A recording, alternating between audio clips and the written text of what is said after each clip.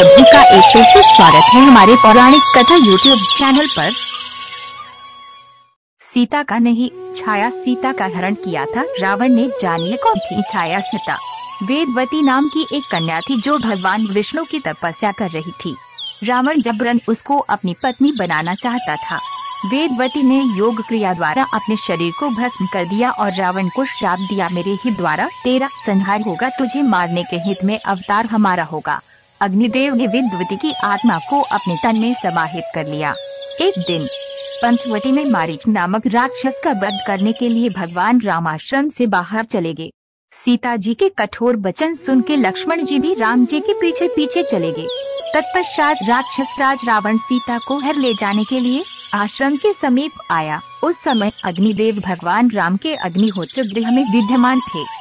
अग्निदेव ने रावण की चेष्टा जान ली और असली सीता को साथ में लेकर पाताल लोक अपनी पत्नी स्वाहा के पास चले गए और सीता जी को स्वाहा की देखरेख में सौंप कर लौट आए।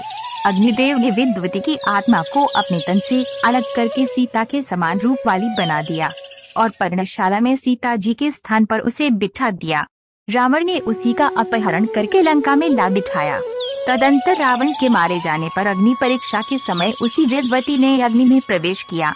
उस समय अग्निदेव ने स्वाहा के समीप सुरक्षित जन का नंदनी सीता रूपा लक्ष्मी को लाकर पुन श्री राम जी को सौंप दिया और विद्वती रूपी छाया सीता के अपने तन में समाहित कर लिया। तब सीता जी ने भगवान राम से कहा, प्रभु, इस विद्वती ने बड़े दुख सहे हैं। ये आपको पति रूप में पाना चाहती है, इसलिए आप इसे अंगीकार कीजिए।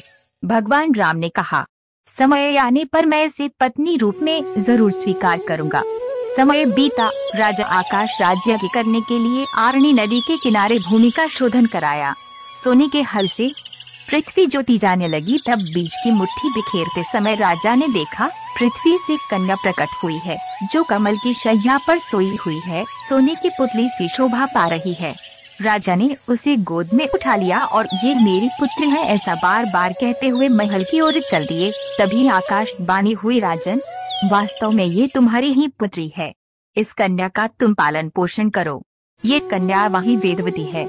राजा के कुलगुरु ने इस कन्या का नाम पद्मावती रखा। धीरे धीरे समय बीता, कन्या युवा हुई। कन्या का विवाह वेंकटाचल निवासी श्रीहरि से हुआ।